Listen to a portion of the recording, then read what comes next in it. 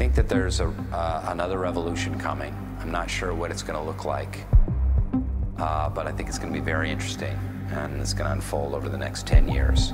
And I think it needs to be uh, a spiritual revolution. Every human being was invited to revision. Those who could not hear their heart chose systems of predation, while symbiotic souls found their way to co mind, symbiosis pulled the heart. Predation favored power, symbiosis favored art. And thus the worlds began to split as humans made their choice to hear the voice of fear or to hear their inner voice.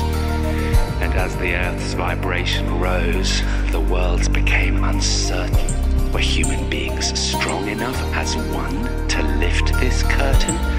Their numbers seemed so few and scattered through a world of pain, where even on the brink of doom, predation seemed to gain. But transformation starts within, as every student knows. Often much has changed inside, while outside nothing shows. Those who sought for mastery of self began to meet. Vibration was aligning them at work and in the street, and where they met, they shared themselves in full, without disguise. Their meetings fueled their vibratory signatures to rise. Their glow was unmistakable. Their numbers grew and grew until together, as one entity, humanity came through.